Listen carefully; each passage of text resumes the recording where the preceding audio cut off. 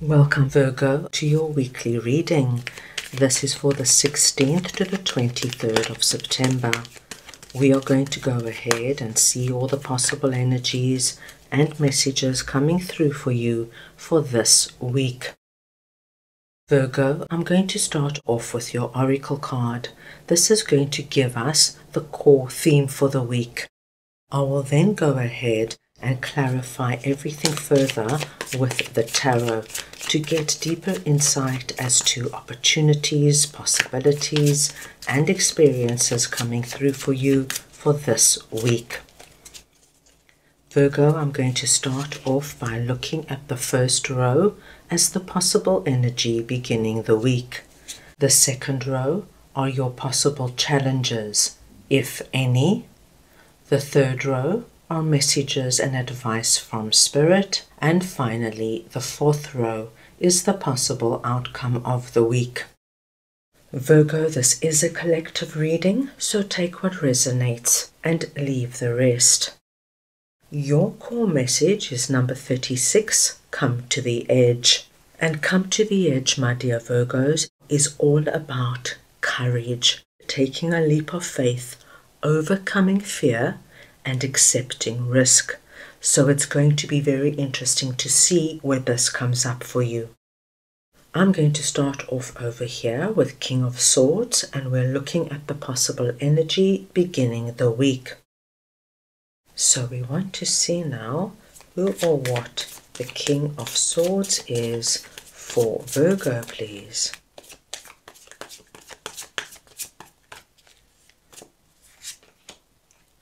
The Two of Wands. Virgo, I'm going to take one more card here. I want to see if we can get some deeper insight into this message for you.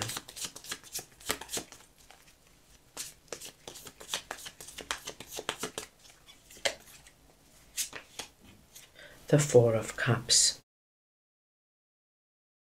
Virgo, there is somebody coming through here presenting as King of Swords. This could be a masculine or feminine. It is the energy of King of Swords I am speaking about. Now, King of Swords is a very strong personality, being a king. And this is somebody, my dear Virgos, who is very smart. They're practical, they're logical. This could be a banker or a lawyer, even the head of a company. This is somebody who thinks about everything they are doing. They are able to let their head rule their heart. Now, this, of course, could be anybody in your life, my dear Virgos. But what I'm seeing here is that they have left you wandering. So, for example, my dear Virgos, if King of Swords was a romantic partner and you went on a few dates, all of a sudden you didn't hear from them and it left you thinking, okay, what just happened? Why haven't they called me? Why haven't they responded to my texts? What's happened to King of Swords? King of Swords could be somebody you're working with, your boss, a colleague, or a client, who once again is just very evasive.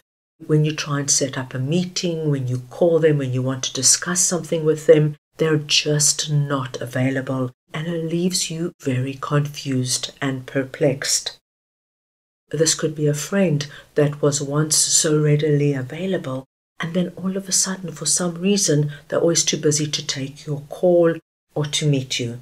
So, what I see at the beginning of the week is a lot of questioning and thinking energy about King of Swords. Now, I've just given you very simple examples, my dear Virgos. We will continue as I'm sure we are going to get deeper insight as to what is exactly happening here. So, this is the energy we see at the beginning of the week. Let us move on now and see what Queen of Pentacles is all about for you that is sitting in your possible challenges. So, we want to see now what Queen of Pentacles is for Virgo, please.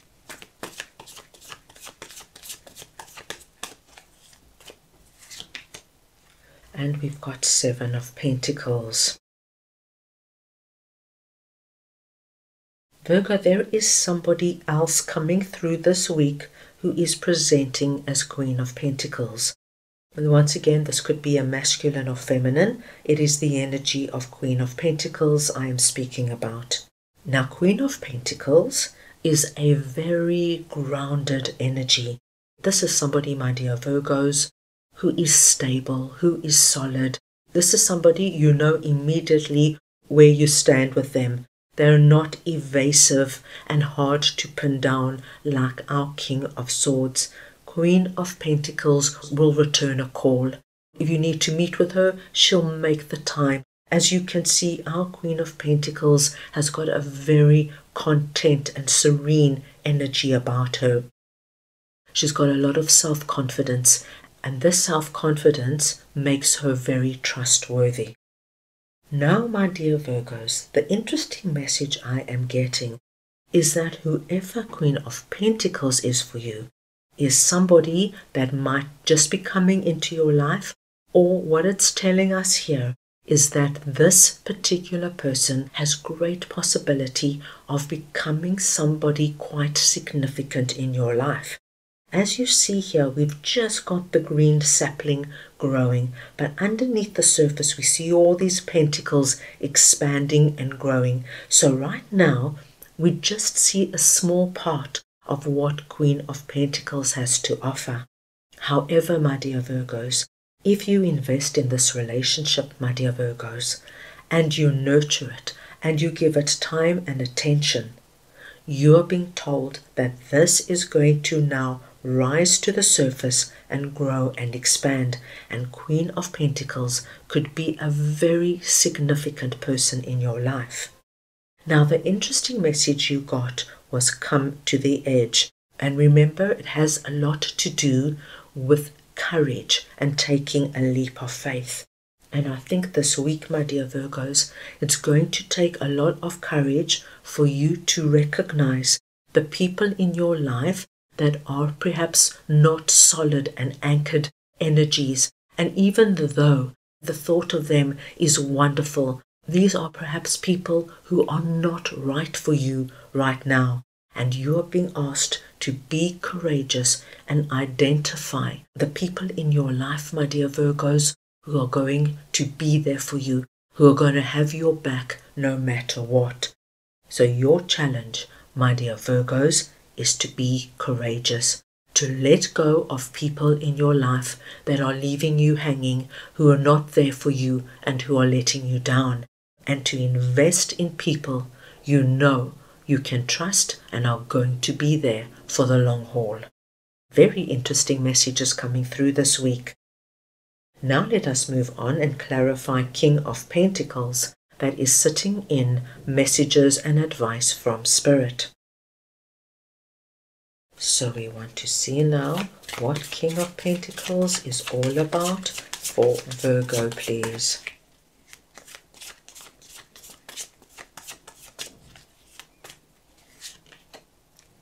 Six of Swords. My dear Virgos, you are presenting under this message as King of Pentacles. Once again, it does not matter if you're masculine or feminine, it is the energy of King of Pentacles we are speaking about. And Spirit is telling you so beautifully, my dear Virgos, that your strength this week lies in the choices you make and the people you choose to mix with. We have you presenting as King of Pentacles, and we saw somebody coming through presenting as Queen of Pentacles. And when we get the King and the Queen of the same suit in the tarot coming through, it speaks to us of a very unique and special relationship. Spirit wants you now to really be courageous and invest in relationships, my dear Virgos, that might not have all the glitz and the glamour, but that are going to grow and develop in ways you haven't yet imagined. And what I love to see here is that Spirit is confirming for us that when you leave behind the illusion of certain people, hoping, praying, will they phone? What can I do to make this person come back into my life? What can I do to make this person sign the contract? What can I do to make this person give me attention? When you stop with that energy and you leave it behind, My dear Virgos, things are going to flow for you. Things are going to be so much easier for you. You now will pick up on the energy of our Queen of Pentacles and look, my dear Virgos, how content and happy our King of Pentacles is. Because what is important to you, what you value, now naturally just becomes a part of you. What interesting messages, Virgo. Right, let us move on now and see what Nine of Pentacles is all about that is sitting in the possible outcome of the week. Right, let us see now what Nine of Pentacles is for Virgo, please.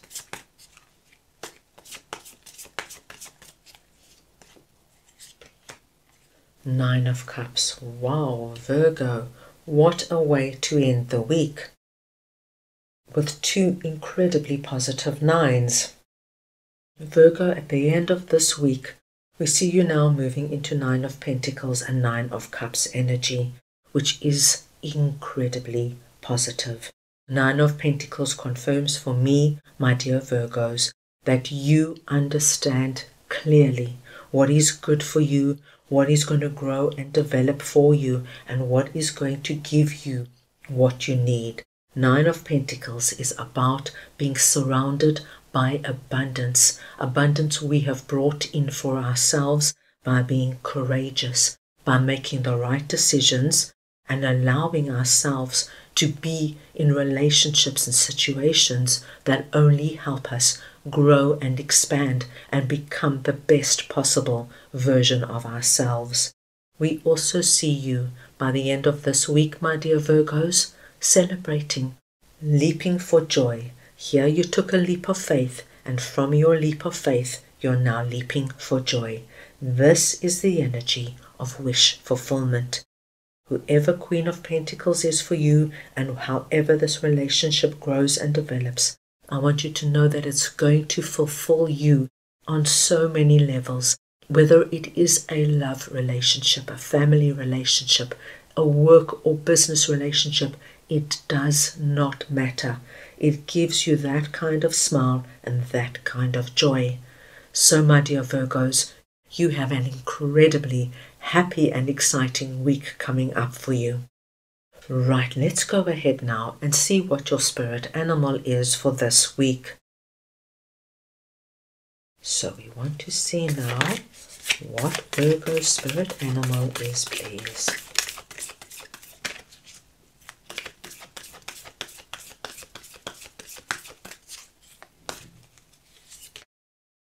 And you have got number 59, Starfish Spirit, open to infinite possibility.